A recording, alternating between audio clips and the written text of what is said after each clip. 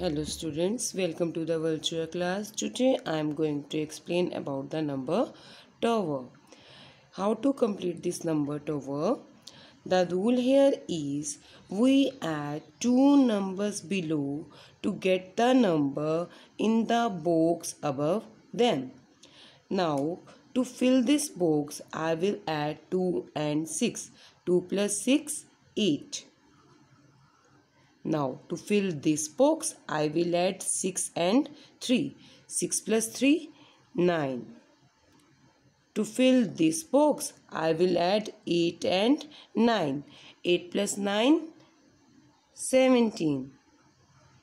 In this way we can complete the number tower. Let us take one more example. Now to complete this number tower Firstly, I will add 1 and 2 to get the number in the box just above. 2 plus 1 plus 2, 3. 2 plus 3, 5.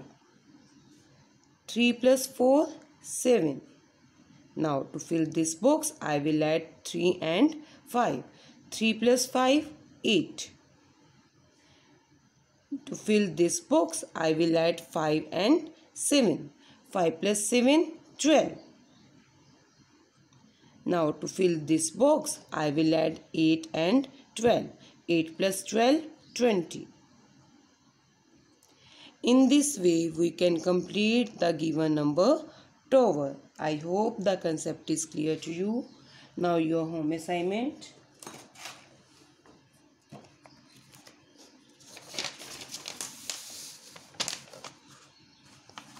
Do worksheet number 3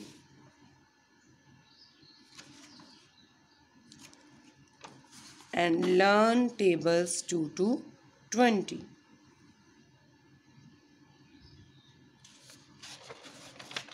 thank you